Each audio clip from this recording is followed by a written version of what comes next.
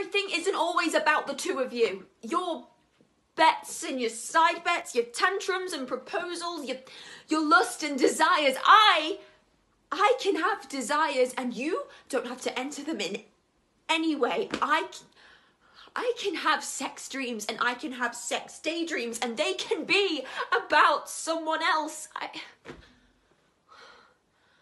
I'm tired of being tied down and covered up. I'm not some statue on a pedestal or a flower in a vase. I'm not just some beautiful thing, though I am that for sure. I I don't want to be protected by the world from other people. I want to be recognized for who I am, not just how I look. I, you don't need to build a ceiling over me. I don't need it. I, I don't know. Just treat me like a normal person, not just the freak in the room who happens to be incredibly beautiful.